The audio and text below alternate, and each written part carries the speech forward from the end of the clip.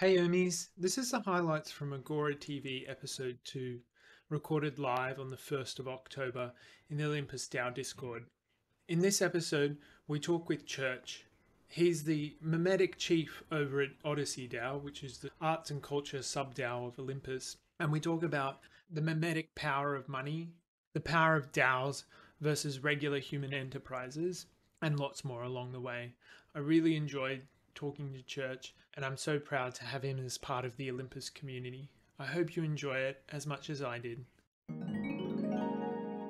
I wanted to talk to you as kind of the the memetic chief at Olympus, our resident sort of memetic thinker, about whether or not you think uh, after the Olympus Pro launch that people are starting to sort of see Olympus differently, and whether or not you think that sort of as the idea of Olympus is sort of propagated throughout crypto and like the wider investor base, whether or not that's that people people are going to start seeing us less as a sort of reserve backed unpegged coin with backing behind it to more of a sort of movement and protocol that can coordinate a massive amount of people that are all aligned in a certain way um, to achieve a certain outcome. I mean, that's a set of beliefs and, and, and, and concepts. And there's a lot a lot of series of understanding in, in, in what you said.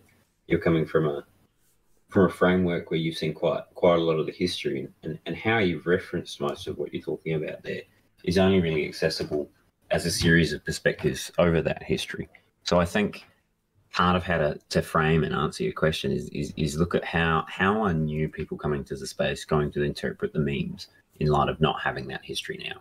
How, uh, as people get their new exposure, kind of like um, GSIB coming up before, in terms of what is what is their take on it and how do they perceive the space. So, I think a strength for Olympus there is, again, the um, the level of community and, and engagement. The the difficulty may be perhaps as as you translate from something that is this uh, large cultural sort of brotherhood hype to something that has actually some really, really interesting and, and pretty defined use cases with OP and, and some of the things that are starting to come out. Is how do we how do we translate it from something that, that people recognize that it's this large um, currency game with, with, with Ohm and staking Ohm and sort of the Ponzinomics aspects there to realizing that now it's actually gotten to a point where it's like the Ponzi game has run long enough that it it's become stable with the amount of liquidity that's owned by Olympus that, as you're saying, these these interactions can happen where, you know, Alchemix owns some of the liquidity and, and then there's there's trades happening on a on a treasury protocol layer. And the ability to do that further being you know alchemist or or other projects is is going to allow this base currency network to spread. In terms of memetic propagation then then i think this is where pretty much in any memetic network is you see uh, the diminishment of propagation beyond the initial environment. Discord and and where we're at allows for a certain rate of communication and a certain rate of propagation of these memes and these ideas.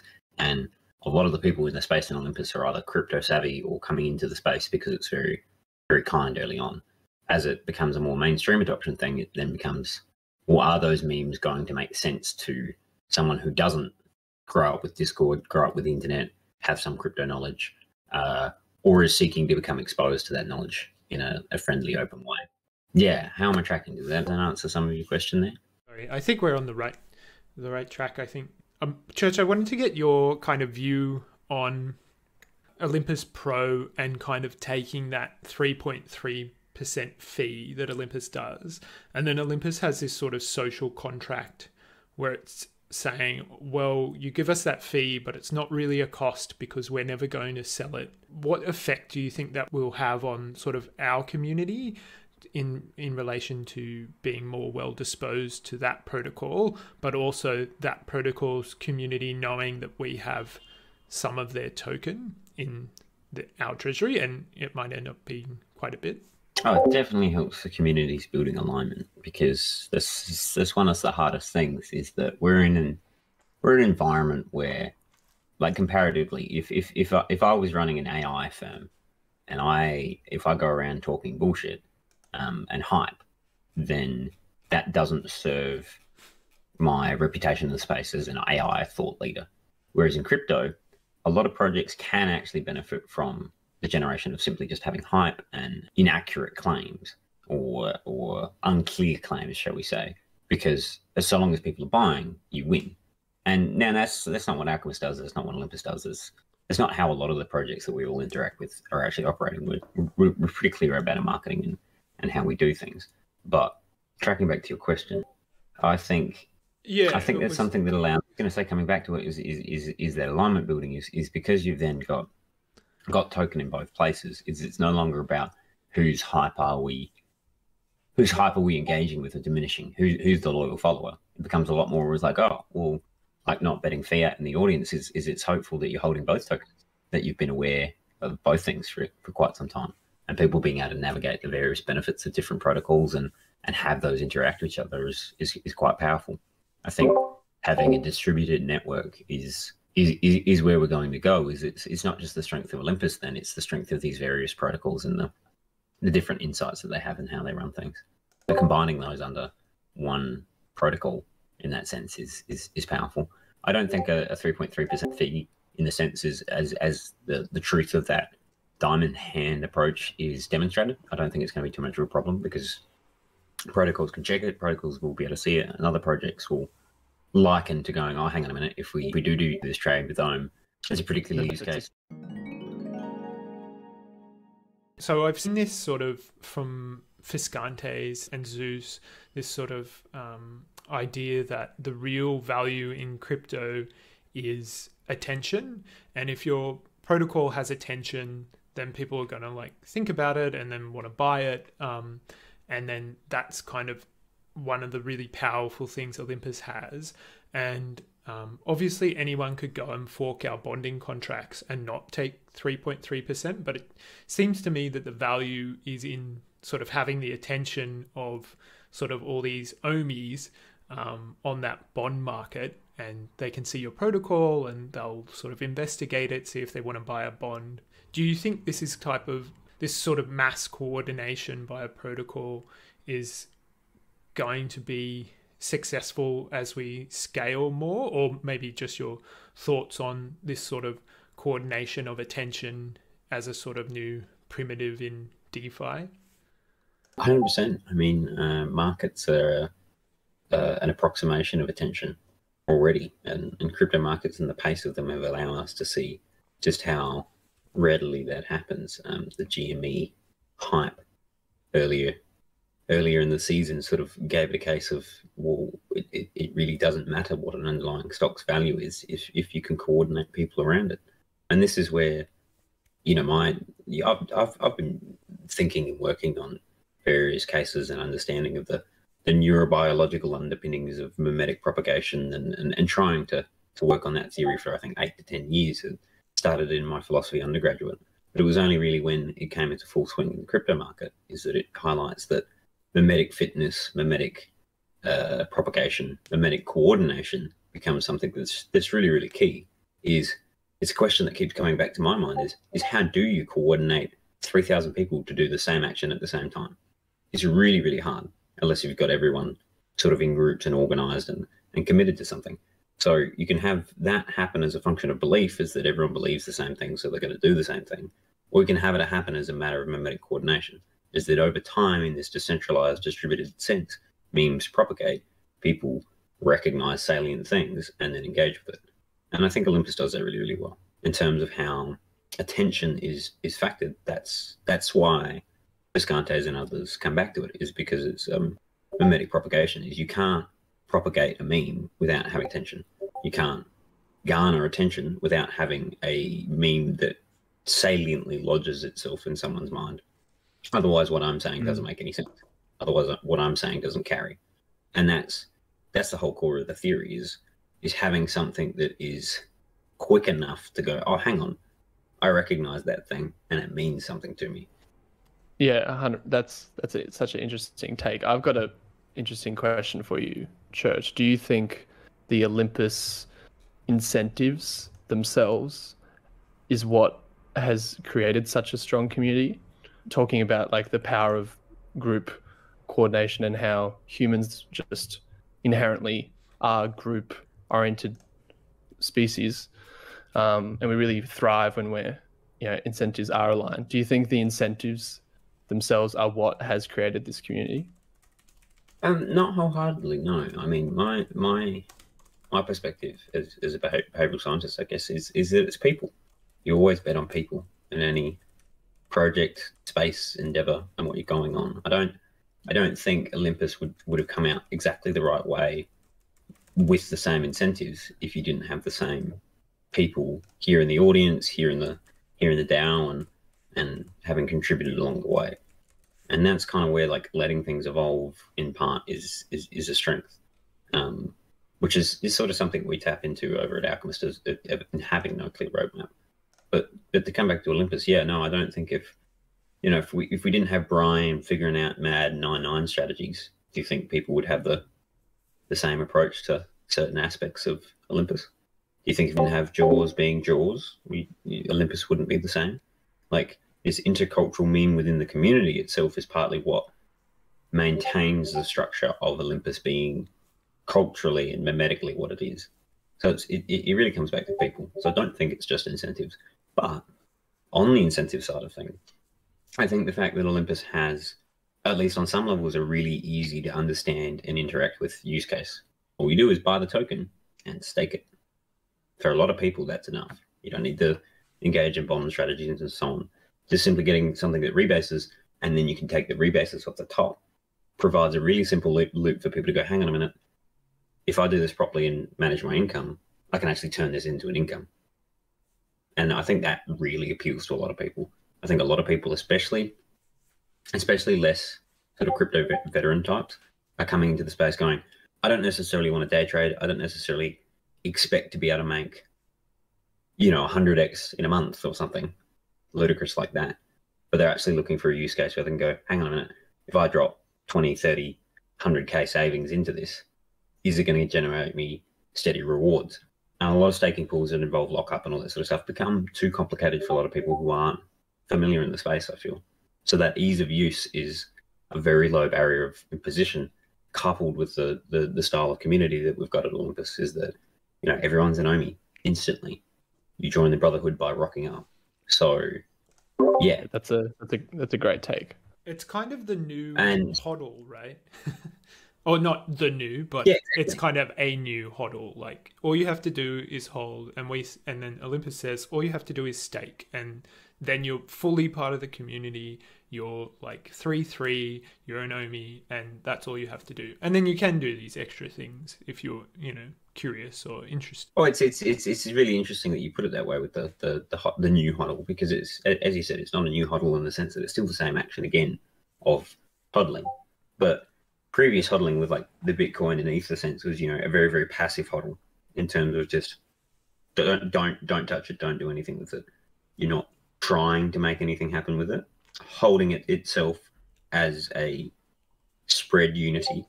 Everyone, if everyone holds, price go up. Okay, cool. Whereas in this sense, it's an active passivity in that the not just if everyone holds, price goes up. It's by everyone holding, price continues to go up. There's an active mechanism in the space, which I think is what you're trying to to point towards, Mark, when you sort of talk as this is like a better Bitcoin as a mechanism, because not only do you just hodl, but you sort of hodl actively. It's good to point that out. One thing that I thought about recently I think someone had brought it up during FOMO 3, but it was this kind of the thesis uh, surrounding Olympus has been very much a you know a reserve asset from the beginning, whereas um, um, Bitcoin in its early uh, stages was very payments focused, and now is trying to flip the thesis. Um, whereas I feel like the thesis structure for Olympus is really sound, so the you know, for it to move into, you know, potentially being something like payments in a very long term horizon. Like that, I think that thesis flipping is very tricky, um, especially as any system grows. Um, so I was wondering what your kind of like thoughts were there, Church, and do you kind of see that as being like really strong? Yeah, that being that being very um, bullish for Ohm in general, purely because the thesis from the beginning had been so so strong. I think it comes back to what what what what what is money really? which is a lot of the sort of core discussion behind cryptocurrencies and so on. Is like we talk about value creation and what it means for any token to have value at all. You know, I could I could walk out tomorrow and create a new ERC20, but does it have value? And and that's partly you know liquidity and and culture and utility and getting things going. But I think it comes back to how do people use money and and what is the the benefit of having it or what are you trying to get out of money? And I think the way that Olympus approaches it is then again it, it comes back to this really easy use case of I can use my money to make money in a way where it's not difficult to do and it makes sense. So patience, virtue is is rewarded in, in terms of doing it in a very simple, just collective way of, of approaching it. In terms of how then people engage with that as an asset, well, what do you want money for? You you, you use money in a way where you're you're able to spend it on things and engage with it, obviously. So having a currency that grows over that time, in a sense, is as much as it's not oriented on the the payment security and, and all that sort of stuff, is it actually surfaces most people's goals and desires for a financial system at a base layer. Like we talk about UBI and, and, and, sort of universal basic income for, for individuals just to be able to exist and, and, and do things and take the time to, to work through their stuff and then self activate. And, and I'm a big fan of that approach. And, and I think Olympus and Alchemist and various other projects in the space are, are starting to offer this to people is you could because you know you don't need to make a million dollars to to be happy with your life you could be staking and just making a couple hundred dollars of Ohm a week, and that's that's life changing for some people around the world. So in terms of mm. how people can actually engage with and use their money, like don't get me wrong, Bitcoin's fantastic, but if I have to wait for a fundamental market shift before I've made any profit or done anything with it, then that might be the make or break in terms of oh crap, I actually have to sell my Bitcoin because I have to pay my rent this week. In, in certain cases for people. So that doesn't let you grow your asset set as an intrinsic HODL. That's what I meant by the active versus passive difference. Is, I'm reliant on the market with Bitcoin, whereas with Ohm as a currency, I can grow it and use it in various ways. And I think it's the utility of being able to act, interact with a currency in an easy way that invites and incentivizes people into Ohm because you know you can use it to do stuff. It's it's it's really easy to interact with that way. I think then that's in contrast to perhaps some of the utility that other projects build, as well as sort of what we got over with Alchemist, is it's not easy to take your mist off the top with the Crucible, but that's part of the intrinsic long-term bid in that you, you, we're building a longer ecosystem. We're not so much trying to build a base reserve currency, but rather a suite of utility. So this is where you can see natural crossovers between various aspects.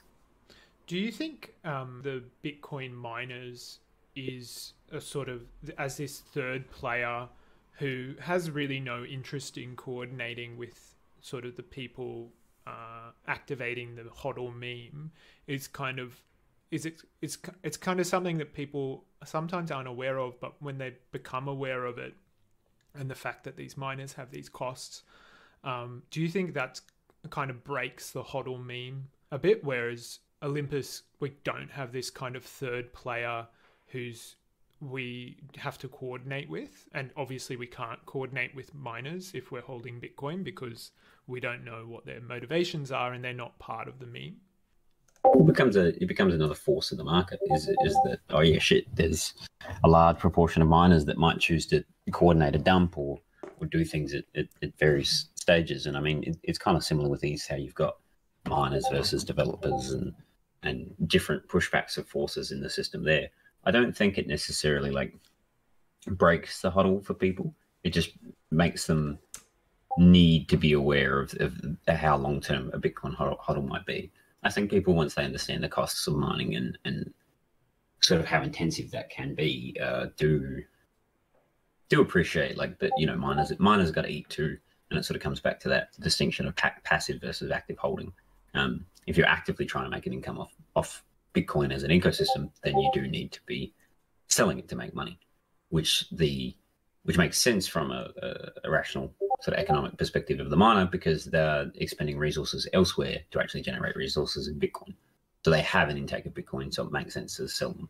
I think people reason mostly from their personal sort of perspective and what they want to happen for their individual circumstance. They're not too worried about what other people are doing So it only really relates if they want to, you know, if they're feeling FUD and, and, and our Bitcoin's down and bloody miners and stuff. And whether that's true or not, um, I don't think it actually interacts with the meme too deeply.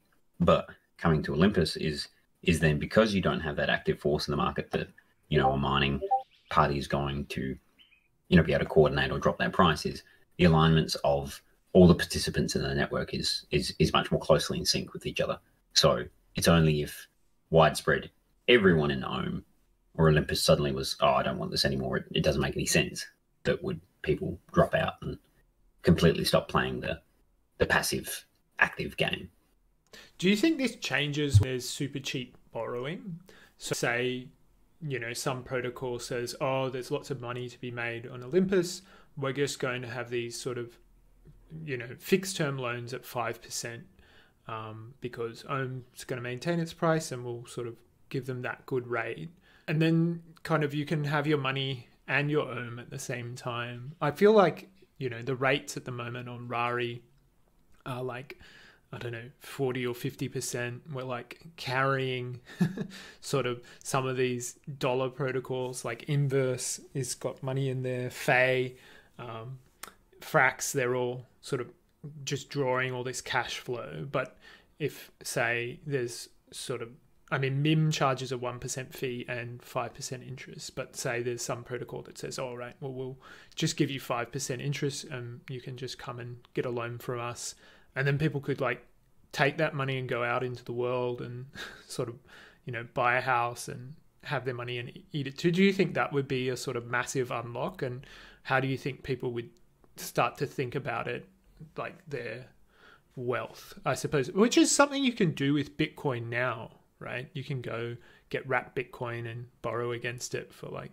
5% or 4% on compound yeah i think that would be a really interesting use case um this is this this thoughts along these lines are actually my entry to to crypto years ago, learning about ETH and so on. Is is I think whether sort of coming into my own accord or just loosely starting to pick up some of the crypto discussion back then by means of introduction, I started thinking about negative money and what a negative money system would look like in terms of reverse incomes and and rather than having a situation where you owe the the community something it was more that the through transaction and trade, the, the community go use something. So you could start from a base level where you didn't really require any money to get going, which I think then kind of comes back to what you're saying with the, the loan mechanism is, is you can imagine someone going, having very little collateral and then leveraging that up several times, knowing that Ohm is stable going to hold its price and give you a, a much better return and progressively pay off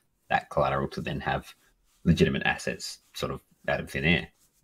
Taking that further is if, if, if we had, I think if we had a wide enough distributed system, then it becomes a not so much um, can you get money, and this is where it sort of becomes a negative, a negative money system. Is is, is you've got a like ETH or various tokens with a deflationary base is is it's more that there's there's going to be more money around over time. It's just then how much access and how much value can you generate with that to elevate yourself in that system.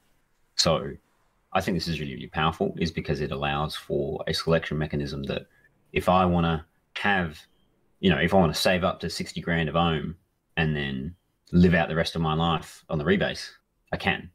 But then the impact I have from selling my rebase all the time is going to be less and less and less compared to someone who's going, no, I'm I'm looking to build my assets and I want to I want to live on on you know the, the rebase of 120 ohm a year and and so on or, or so forth. So it gives people this optionality to select to the level of commitment that they want, which I think is really, really powerful. Once you factor in loans for that, is it sort of it's only limited by someone's vision in terms of how far they can utilize that, I think. And um, I guess it changes, right? Because once you, a big thing for me was, well, actually, I think like US dollars are going to become more and more worthless uh, over time, and eventually it'll get to a stage where people have to just stop thinking about money in terms of US dollars, and they might attach value to something else. Like some people say, "Oh, I think in Bitcoin, one Bitcoin is one Bitcoin," but it's so volatile that's kind of ridiculous to think. But the hope is that Ohm eventually gets to that stage where it sort of is maintaining its value, but um, if the U.S. government keeps on printing like tons of money, isn't that is? I mean, then there will have to be sort of this inflation, um, and then you'll be borrowing money and paying like a certain percent to borrow it, but that should go down over time as there's more and more US dollars come on into DeFi.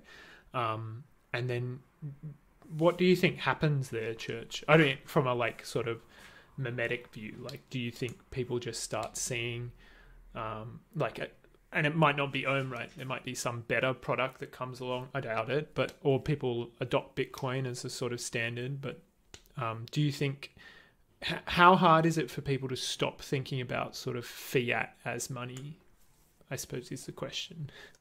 I think it depends on like people's heuristics and how how they've been culturally programmed, how open they are to new experiences and new ideas. I guess yesterday I, I tried to convey to a friend um, in Australia. She's got a lot of savings. Um, I'm like, you should you should probably start looking at some crypto, even even just staking some of your your stuff in Ohm or Alchemist and explaining what I'm involved in and going on. And she's just like, oh, it seems so risky. And it's sort of, I don't think it's so much that people have a full understanding of currency and sort of wealth of nations history anyway. It's like what we're attempting to do now with cryptocurrencies is is relearn a lot of the lessons that we knew as sort of state of nations and and, and, and, and gov- early government bodies is that you you did need some inflationary mechanism. You did need direct control over your um, economy base. It couldn't be something that was was backed by the Fed or gold or or what have you. It was, it was more a matter of utility. So I think as people realize that there's actually no difference in the mimetic structure between these two things, the whole the whole idea of a dude in a suit with spreadsheets and graphs having the ultimate truth of what the markets are going to do is is is a mimetic dream that we've been sort of captured by for the last 20 30 40 years is that that's how the markets work and they know what they're on about. I think as we as we move into this sort of more digital remote age a lot of those sorts of memes break down because you can't have that confidence play in person. Doesn't matter what you're wearing. Doesn't matter how you're doing things on discord. So as this filters through we've got a situation where people's approach to currency is going to be a lot more open. It's not going to be dependent on what a trusted authority thinks. As crypto becomes a mainstay, people are curious. The more they hear that conversation, the more they're going to break down that barrier of imposition. So, again, I think it's less about how people perceive cryptocurrency directly, but the barriers to understanding it, as well as people understanding deep sort of economic value and how value is created in the first place you know, this is kind of my passion for mimetic propagation is understanding like, well, how do you get people to understand that this is this is something different, that currency mm. itself and and getting that happening is, is is important. One of the Ohmies in the Agora chat just brought up, you know, living through the end of a monetary era is kind of scary. Um, I tend to, I, I tend to share the same view on things. Um, you know, every you know we might be people that are involved within crypto you know early adopters may be well off because they've taken the risk and it they may be rewarded. But for for those that exist in the regular financial system um, you know that that is kind of worrisome. So you know that in in that context um, what what what what what can we do to kind of help people jump through those psychological barriers about crypto being risky and and all these things that aren't necessarily 100% truths. It, it, it's the same with anything. It's it's widespread education and, and normalizing. You, you need people to get past that. It's one. It's okay to be daunted by this space. There is a lot of technical knowledge to wrap your head around it. Like you can't you can't pretend about that. You gotta you gotta go. Yeah, there are risks. There are there are things to do. But then you couple that with educating on the fact that the the point of that is decentralization. The point of that is is is a sort of freedom that comes with being in the crypto space. And I think then the other thing to address is, is that some people still view crypto as a scam or, or something dubious that people are doing to, to rip other people off. So I think the long term is really like educating and lowering barriers of imposition. The more you can make people feel welcome, the more you can make it clear how this thing works in a simple way, um, the more it will propagate. And then this is this is kind of the two ends of the mimetic spectrum between um, Olympus and uh, Alchemist. Is that you can either go the the complex route is that people stick around through the difficulty of acquired knowledge, and then are incentivized by the the surface layer mean. And this is sort of where we've got the there is no plan approach in terms of and get people curious about what we're doing. So they actually ask the question and, and are engaged to learn. And then Olympus has got a, a massive lowering a barrier of imposition is is is that people tend to feel comfortable here quite quickly because of all the people in the space and, and how they approach it. But yeah, I feel like I'm talking a little bit widely, so maybe um, coming back to one of your questions or another thought. Church, I wanted to um, just ask one more thing and get your uh, thoughts. Someone the other day was saying, "Oh, but um, oh, you've got Ohm," and I was like, "Yeah," and it's sort of got these assets backing it. Some of them are like Ethereum and sort of Sushi, which is this trading uh, token, and then they said, "But you know, well, how is it sort of better than money?" And I was like, "Well, you're." dollars aren't backed by anything so um, that's it's a kind of very difficult argument for you to say that sort of your australian dollars are better than my own um, and that's and that's kind of growing as well and then i said the a good way to think about it would be like if your sort of us dollars was backed by sort of corporate stock like if it was backed by 0.01 Amazon share. Do you think that's a, a, a sort of idea that can take hold, or do you think that's kind of going to be very difficult for people to adopt, like a sort of this sort of currency backed by other protocols shares in their um, useful services that they provide?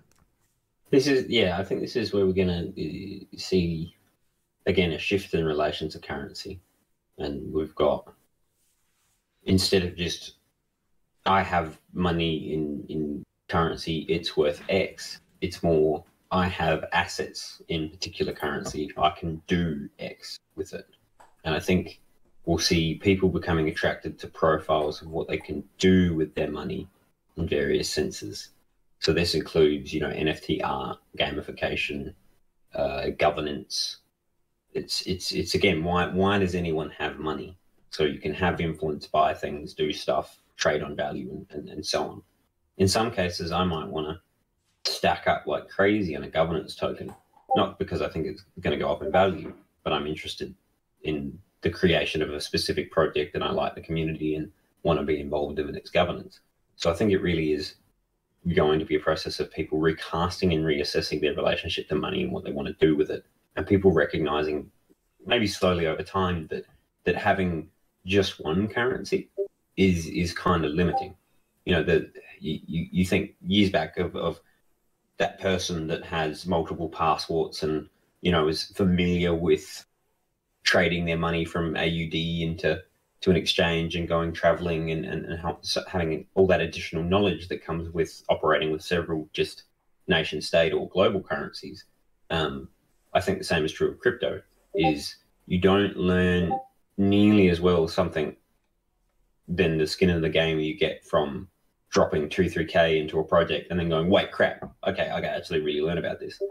As soon as you start using MetaMask and so on, you really learn these things because you have that skin in the game. So I feel like we're going to see people shift from a relationship of just, oh, I have money, it's worth X, but I have money Y that I do this with. I have money C that I do, do this with. And in terms of like having Australian dollars, it may be, yeah, if I want to go to the corner store, Australian dollars may for a long time still be really useful. But if I want to generate money, having Ohm that I then convert to Australian dollars to live my life might be really useful. So I think it's more about people's relationship with money rather than just a dollar figure. It's not just making money, it's, it's how do I use it. Can you just tell us a little bit about what you see as the kind of differences between uh, I know you touched on it, the sort of um, different memetic sort of ideas behind each community, um, the sort of alchemists not having a plan. But can you tell us a bit about sort of what cultural events kind of happen over in alchemists? Are they like similar? I know you guys have like sort of a radio station that's run Alchemist Radio. Tell yeah, us. I mean we've yeah. got we've got AMAs, we've got radio events, um, we've got calls with our team, we've got community brainstorms, we've got gaming. Um, we're spooling up a lot more events as we go along, and, and as our community finds its alignment with, with what it wants to be doing. A lot of it is we we open it up to, to people to suggest what they want to do. Um, another, I think, really strong cultural element is, is sort of one of our sub projects. It's not surfaced as a as an actual project, but the Chaos Lab is a um, process where we we have a little voting system set up for uh, individuals to apply, become part of a coordinate, and then actually assign regular value to just community members that isn't it's not something that's navigated by the core team or or any of the seniors or or anything it's it's just as the name would belie um, chaos is, is is people are allowed to come in suggest and and form their own little structures around ideas that might emerge so part of our cultural event is is continually moving away from having any barrier of imposition or control over a particular role or particular idea you know, I might be leading on the marketing front, but it's it, it's often very open for other people to suggest what we should be doing in the marketing. As much as I might have more marketing experience, it's also going well. Let's let's try things. Let's let's figure things out over time. So I think the just to sort of surmise and add to that is the the main cultural differences between Olympus and, and um, Alchemist is, is is in terms of how we gain our memetic stick over time. Uh, Alchemist with there is no plan, and someone leaves this huge open mental scape for someone to explore. It, it, it incentivizes sort of cryptic curiosity in that because we're posing an inherent mystery about what we're doing, people are incentivized that if they're, they're engaging with us at all, they're generally particularly active because they want to know what's going on and they've sort of got to spend this extra time gaining cognitive skin in the game by learning what Alchemist is doing. Because we're a distributed ecosystem and so much is happening on, uh, so much is happening at once and so much is going on. Um, it's actually a little hard to to convey and digest Alchemist all at once. So that um, that sense of something so much bigger than um, I think draws a lot of people in. And then Olympus has strengths in the sense of that it doesn't. I feel like understanding all the economics does does require a bit more cognitive fluency with crypto and what's going on.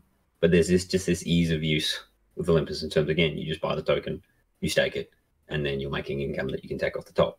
And I think to a lot of people that appeals at a at a middle layer where there's a wide number of people that are probably fresh into crypto or familiar with crypto and even even might have thought being familiar with crypto that oh was too good to be true.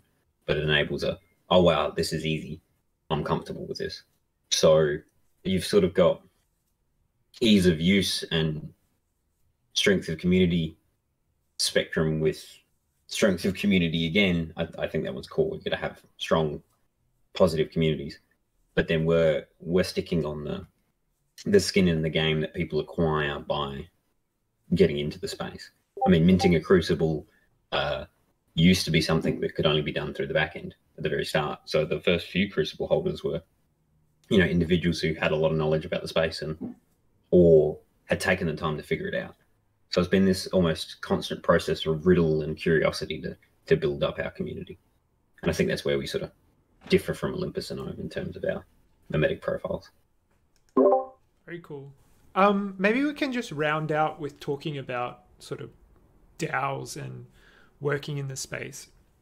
Um, so Olympus has maybe, I don't know, this month it must be over hundred contributors because last month there was 80 and we even just our tiny sort of project agora has like an extra five people um, do you think just scaling sort of where do you think the upper bounds of working in sort of for a project are how and and maybe you can tell us a bit more about how alchemist coordinates their dao and also like do we were talking a bit about this uh, with Dude and Asfi.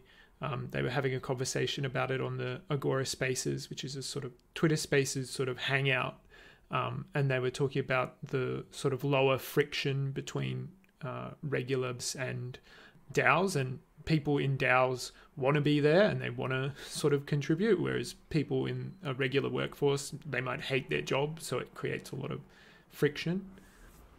Yeah, I mean, uh, do, my, do my guys in the audience, do we want to maybe bring him up and continue part of that discussion then? Let's invite him up. He's got to invite. Come on, do my part. Wink, wink, winky ear gang represent, my friend. Maybe, yeah. Is this the dot dot dots? What's this profile picture you got? Yes. Yeah, this it is the, the dot dot dots. Dot dot The dots. dot dot They're dot dots. Yes, we we we are the the the winky the winky ear gang. And The Winky Ear Gang. Girth Girth has one similar. What's up, guys? I wasn't expecting to get called out up here. Hey, everybody. I've been waiting to call you out, dude, my guy. It's just just opportune moment conversation. I'm Always going to put you should on I the spot, sir. like? I feel like I'm a little out of place up here with three Australians. I'm outnumbered. we actually No, put none on of us accent. know each other. Put on, put, on- before, put on Maybe- so Maybe I'll just blend in. yeah, Yeah, blend in, mate. Yeah, all right. all right. yeah. That's adorable. Um, church, maybe I you can could blend. Maybe you could tell us about a little bit about um mist, and then dude can kind of uh come back in and Yeah. say I'll- I'll how our off, is different or what. what Yeah, yeah, yeah. No, I think it's.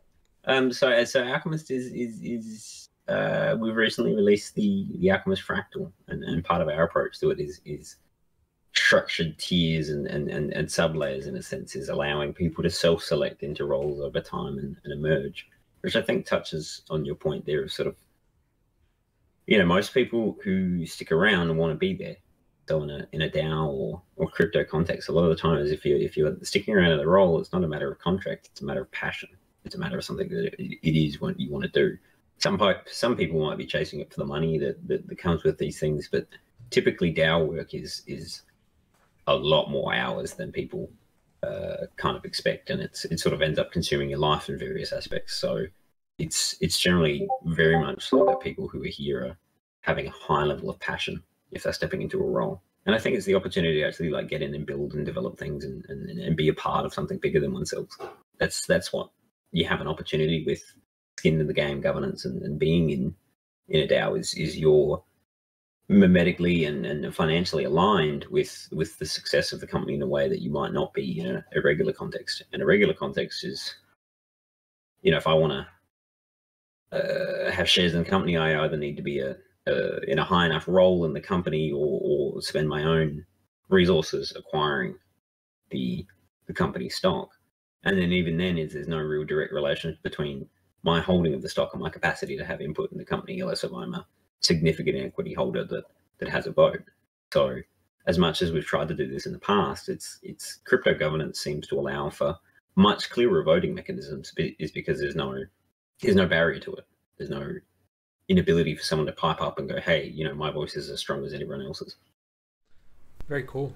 Um, did did you maybe some most people maybe didn't didn't have uh, the sort of background about what you were saying about the DAO, kind of in the Twitter Spaces the other day, um, about sort of wanting to be there and the lack of friction and how that can make it such a more efficient process.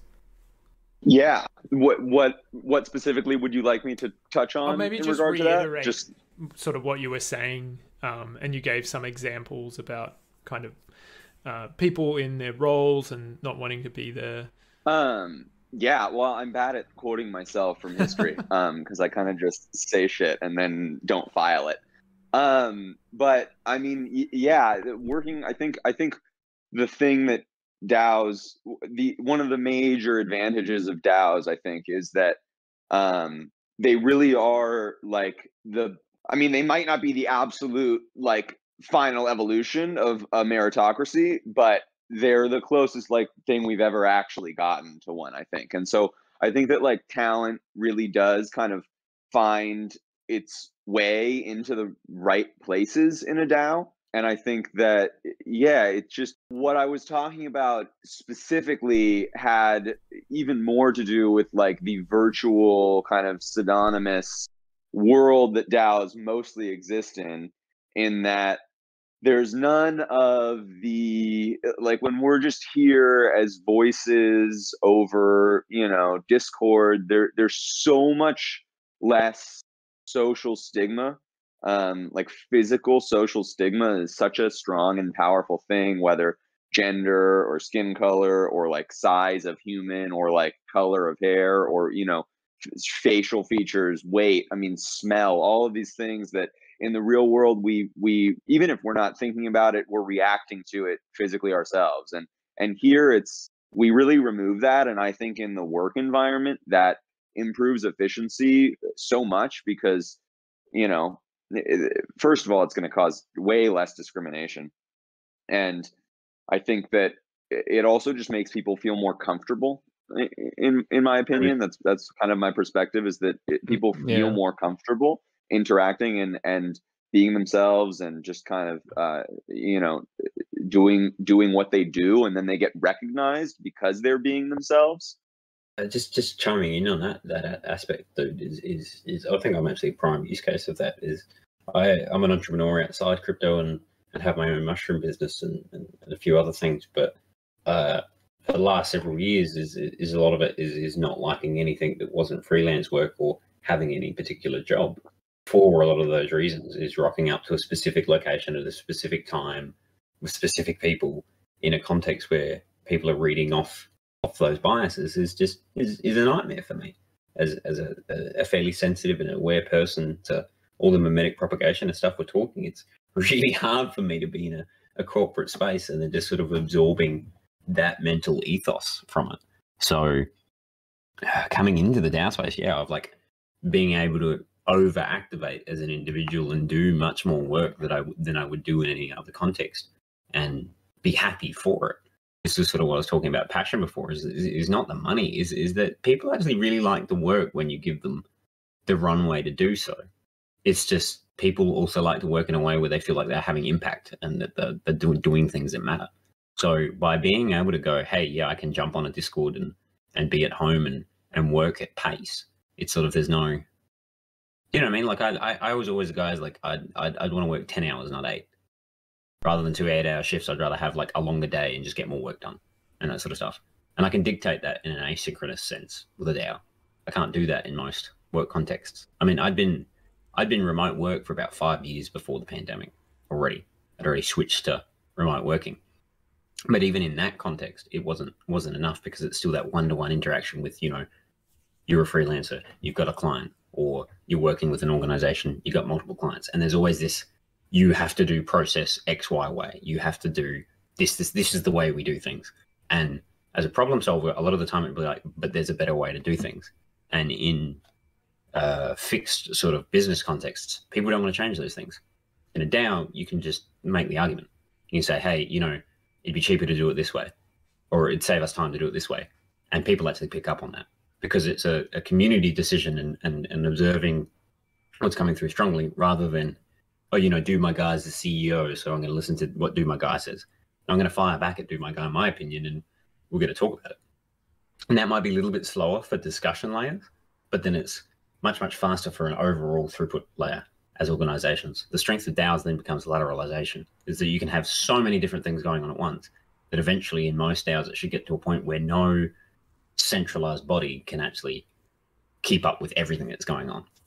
Yeah, I think we're kind of getting getting to that level at the moment um, in Olympus. Like, I like see all these channels, and I'm like, I just have no, I just I can't even commit the time to like try and read what's going on in the like design channel or whatever there's so much stuff. But I think this is sort of uh, coming back to what Apollo was talking about, sort of emergent talent, um, and that and that the DAO sort of does that because people are doing what they want to be doing and they sort of self select into sort of roles that they want to sort of participate in.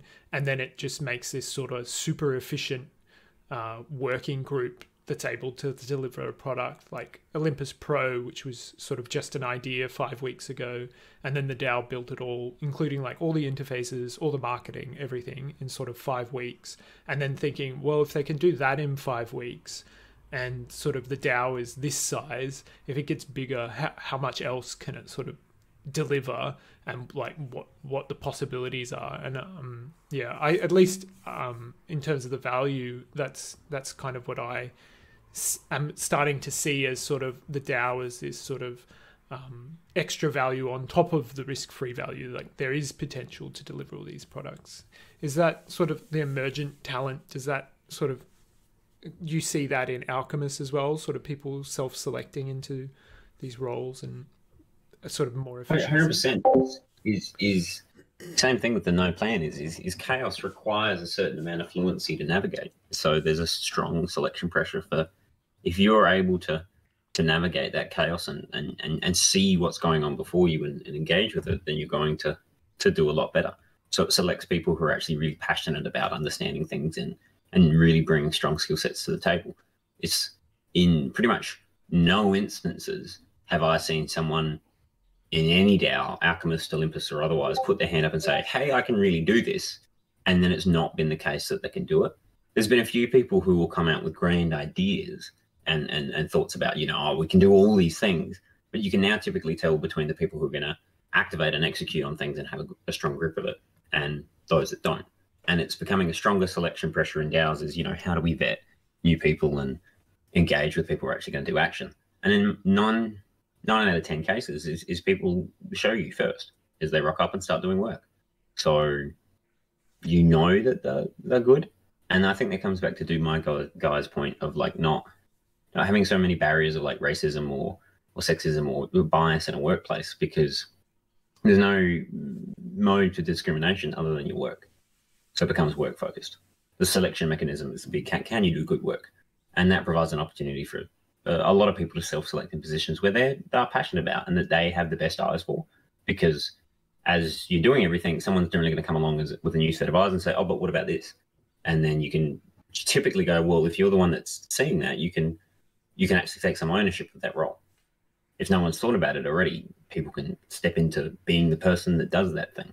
Definitely. Is that is that kind of how you see it as well, dude? One hundred percent. Yeah. I, I couldn't have said it better. All right. Um, well, I think I think uh, we've been on here for like an hour and sort of forty five minutes. Um, if you just had any sort of closing thoughts about sort of uh, DAOs or working together, or dude, you had anything extra to add? What's but um, closing thoughts wise, Marks is is is just an observation of of where I'm seeing things in the space in general at the moment. Here at Olympus, Odyssey, uh, Income. Shout out to shout out to the Income Genesis team. I see a few of the the Income, Income team here. Uh, we've got uh, we've got Monk and two of my guys actually part of that team as well as uh, Keisha in the audience and, and anyone else that I'm not spotting the name. But uh, yeah, Alchemist as well. Uh, Alchemist, Odyssey, everything. What I'm observing in the space at the moment is in the last few months, there's been an incredible amount of de- development out of everyone. Um, particularly on the Alchemist end, we've we've gone from no products to four, five products, and and more on the way. And uh, it's it, has been a lot of effort, a lot of work, and uh, in in some places, a lot of tensions between just everybody's sleeplessness and the ability to maintain the the level of hype that everyone's engaging with. And I've seen you know various people in the space here and elsewise get get get quite tired and sort of not collapse, but but start cutting back to the, the to the strengths and weaknesses that really serve them most. And I think for DAO governance, um, DAO community and culture, and how that starts to evolve in the space, it's going to be a really interesting time in the next few months. As you know, October rolls in, we probably see another bull run, and as well as having that people are really going to start making the decision of what serves them. As people become more financially free in the space, they, they, they can make the decision of like what are their actual interests, what are their actual goals, I think we're going to see another wave of people in DAOs in general self-activating and really becoming encouraged to participate in the longevity of spaces. When things are new and early, you know, you get your strongest actors coming in because they can risk and step up to the plate when chaos abounds. But as things settle and, and you know, some sort of more appropriate structures emerge, you're going to get you're going to get a lot more people coming into these spaces, I think. And I'm personally really, really excited to see that next wave of really positive and accelerated growth at a a more human lateralized level where it's lots of humans working together en masse, maybe inter-DAO and, and between a lot of these collaborations that may happen between Alchemist mm. and Olympus and, and, and so on, is that it's more going to become about people in large spread networks rather than any particular DAO. Uh, any closing thought